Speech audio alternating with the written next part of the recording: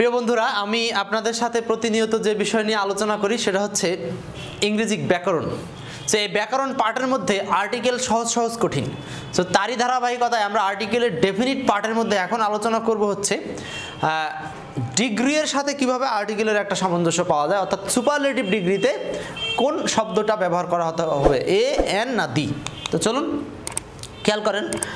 আমাদের অনেকেরই ধারণা যে সুপারলেটিভ ওয়ার্ডের হলেই তার সামনে মনে হয় আর্টিকেল হিসাবে দিয়ে দিতে হবে। কিন্তু না। সুপারলেটিভ হলে তার মধ্যে পার্থক্য আছে। জানি আমরা সুপারলেটিভ ওয়ার্ড হচ্ছে দুই ধরনের। একটা হচ্ছে অ্যাডজেটিভ ওয়ার্ড আর একটা হচ্ছে অ্যাডভার্ব ওয়ার্ড মাথায় রাখবেন, যদি সুপারলেটিভ ওয়ার্ডটা অ্যাডজেটিভ হয়, তবেই তার সামনে আর্টিকেল দিয়ে দিবেন। আর যদি সুপারলেটিভ ওয়ার্ডটা অ্যাডভার্ব হয়, তবে তার সামনে আর্টিকেল হিসাবে দিয়ে দেওয়া যাবে না। তাহলে আবার বলছি সুপারলেটিভ অ্যাডজেটিভের পূর্বে দি দিব, কিন্তু সুপারলেটিভ অ্যাড অ্যাডভার্বের পূর্বে দি ব্যবহার করব না। উদাহরণ লক্ষ্য করি।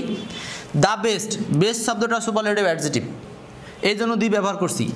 মোস্ট বিউটিফুল এটা সুপারলেটিভ এই জন্য এখানে দিয়ে দিয়েছি। কিন্তু এটার দিকে তাকান। মোস্ট বিউটিফুললি এখানে এল ওয়াই আছে মানে অ্যাডভার্ব সো এটার সামনে আমরা দি ব্যবহার করতে পারব না। এগুলো নিয়ে অনেক বিস্তারিত আলোচনা আছে জাস্ট শর্টকাটে বললাম। সেটা হলো সুপারলেটিভ পাইলেই দি ব্যবহার করব, এই কথাটা ভুলে যান।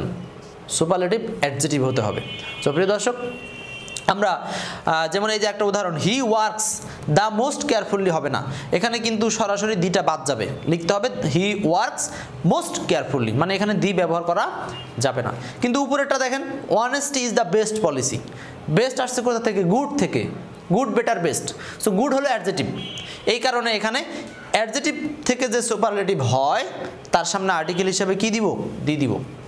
অতএব সংক্ষেপে যা বললাম, এই দুইটা পয়েন্ট মাথায় রেখে তারপর আপনারা সলভের চেষ্টা করবেন। ভুল করা যাবে না।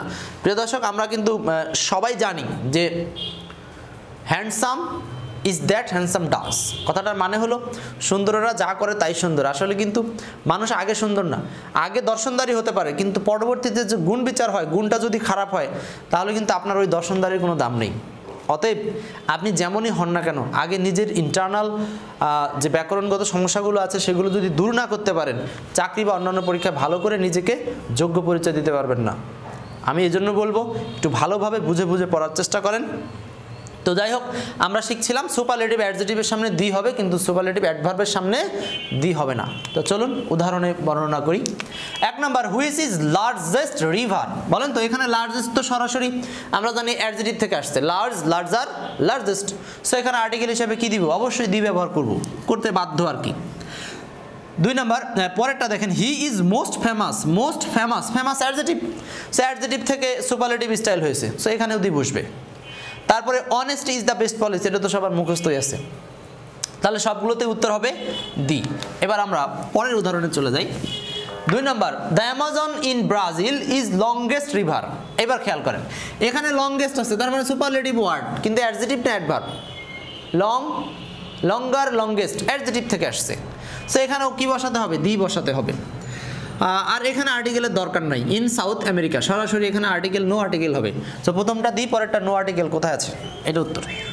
তিন number choose the correct article Rakib is finest young player দেখেন ফাইন থেকে আসছে finest fine finer finest so এটা সুপারলেটিভ ওয়ার্ড সো এই সুপারলেটিভ ওয়ার্ডের সামনে অবশ্যই কি বসাবো? দি বসাবো। তাহলে উত্তর হবে এইটা। তো, প্রিয় দর্শক, আমরা দেখলাম কীভাবে আর্টিকেল হিসাবে দি ব্যবহার করব? সুপারলেটিভ অ্যাডজেটিভ অথবা সুপারলেটিভ অ্যাডভার্বের ক্ষেত্রে।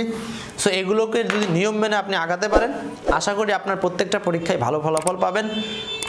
সো এই নিয়মটা এখানেই শেষ করছি। পরবর্তী নিয়মে আরও বিস্তারিত আলোচনা হবে। ভালো থাকেন।